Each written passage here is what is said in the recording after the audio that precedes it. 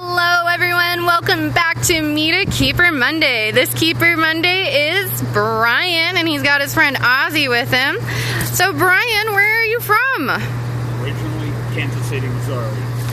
Awesome. And what got you into zookeeping? Basically, fell into it. One of my friends used to work for a small circus in Springfield. He asked me to come down there and start working with the animals and fell in love with it. How long have you been working here at the Lion Habitat Ranch? It's been a while, right?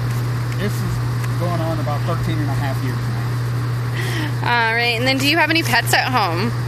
One, Diesel. One Dies- little dog. He's our guard dog here at the Lion Habitat Ranch. Lion Habitat, actually, Brian is our live in keeper.